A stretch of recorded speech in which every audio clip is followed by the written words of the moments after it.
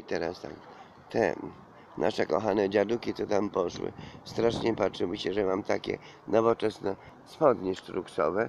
A jeszcze gdzie to było? Czy w bibliotece, powiedziała babka. No tak, teraz obcinają normalnie nogawki i to się tak fajnie strzępi potem, wiesz.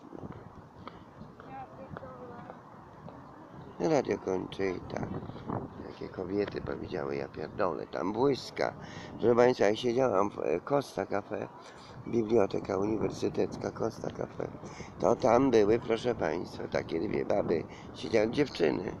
Jedna mówi, tak jak mnie przeleciał, jak mnie przeleciał, może jak mnie przeleciał, a mnie jak przeleciał, a ten przeleciał, a tyle razy. No to normalnie prostytutki.